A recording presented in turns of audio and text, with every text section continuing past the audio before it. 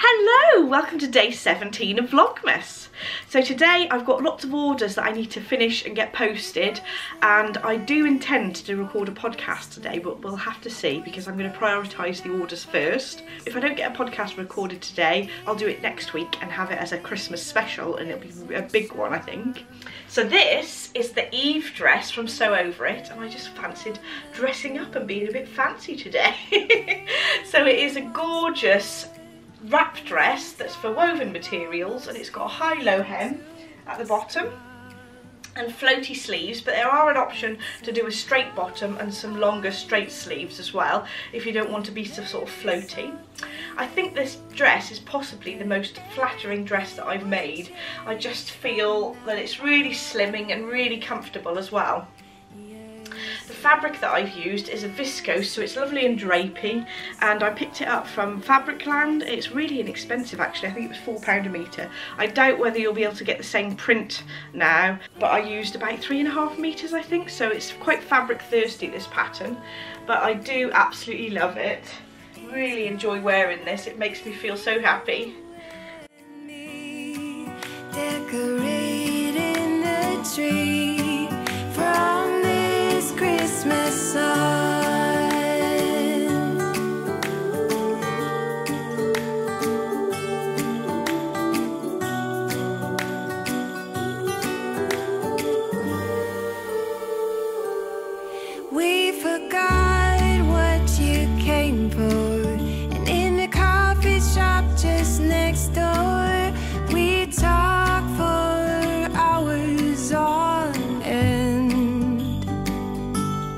and somehow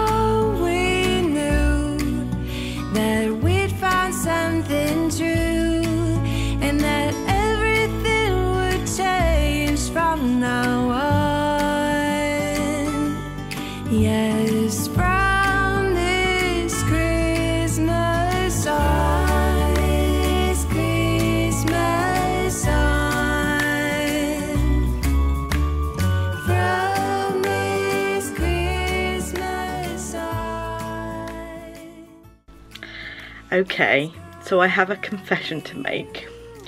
I have an enormous button collection. I'm going to show you now. So this is where I keep my button collection.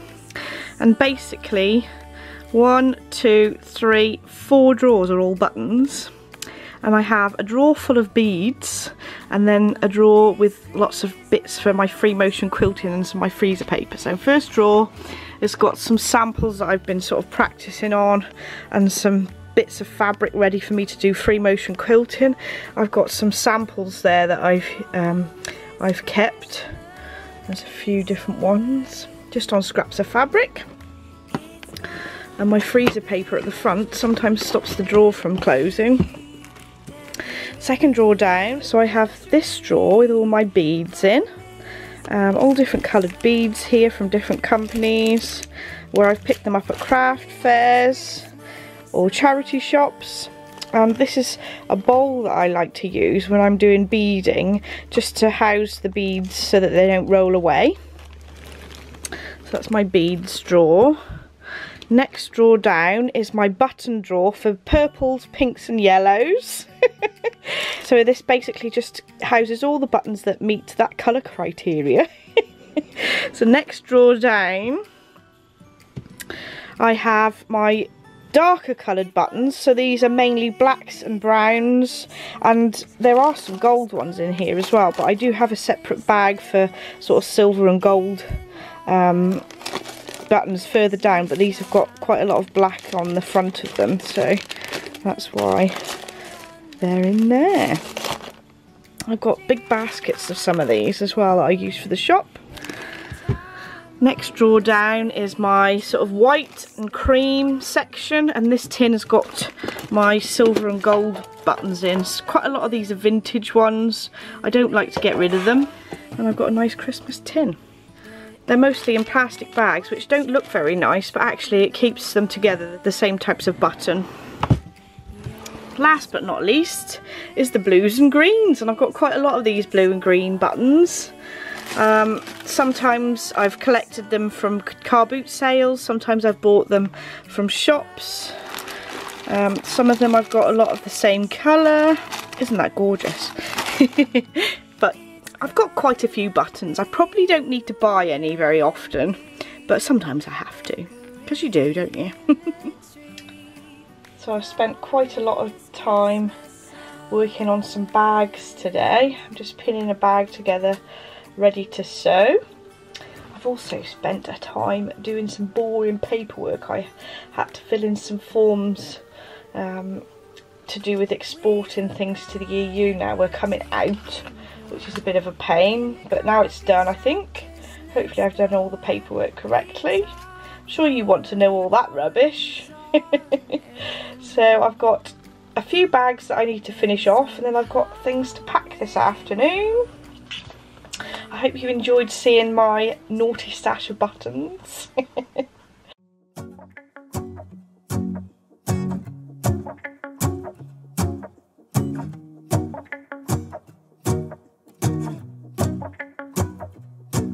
go outside. The snow is falling down, and every child is having so much fun. The snowman is twice the size as me, with a smile as quirky as mine. We're holding hands to keep each other warm while we stand and watch a choir performing all the Christmas songs that we love. Yeah, all the Christmas songs that we love. And in a while we're gonna go inside and drink our chocolate by the fire. Cause all I want is to spend this day with you. Let me give you a Christmas, a moment we'll fill with love and joy. Mm-mm, so beautiful, kissing on a mistletoe, baby, with you.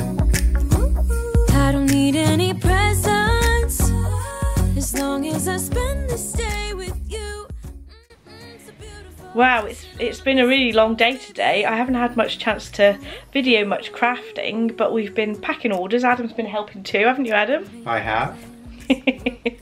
and um, basically tomorrow the 18th of December is the last date to place your order so that you'll get it in time for Christmas if you order anything on the 21st of December or after it won't be processed till after Christmas because I'm going to have a couple of days off um, which will be lovely anyway it's time for Advent you deserve lots of chocolates for helping me Adam which day are we on 17 is Day it 17, yep. are we down there Ooh, Forgot. lots. They'll probably be melted because they're closer to the radiator. Yeah. Let me give you a Christmas. A Ferrero Rocher, a Galaxy. Oh, and a rather soft Lindt. Oh dear, is it a bit squashy? Stick it in the fridge. Eat it quick. So we're on day 17 of your Lego Advent. Yeah, day 17. Stay with you. Mm-mm, so beautiful. Ooh, it's piano.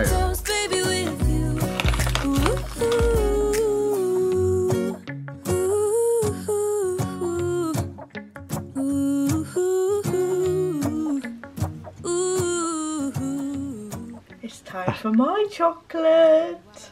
Mm. Oh, there's lots in here. I can feel it. I can feel it. We've got a Galaxy. We've got a Snickers and something else.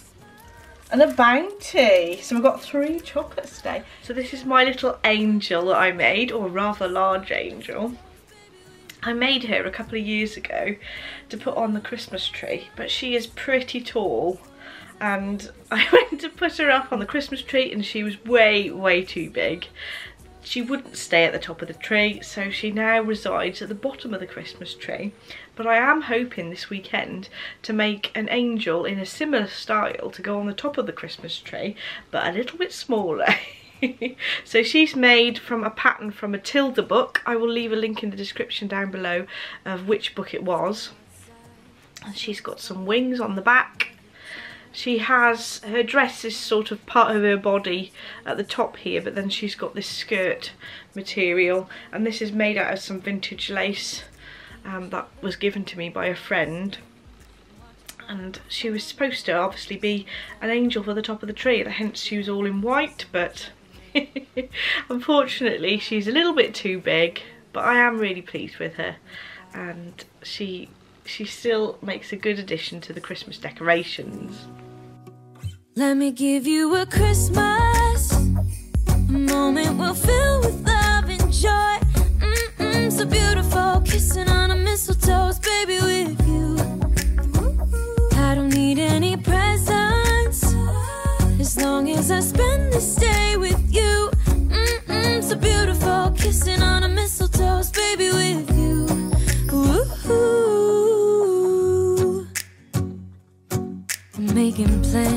what we're gonna do. I feel so blessed that I can be with you. Cause God knows that I've been longing for you. I just wanna hold you close. You know the stars.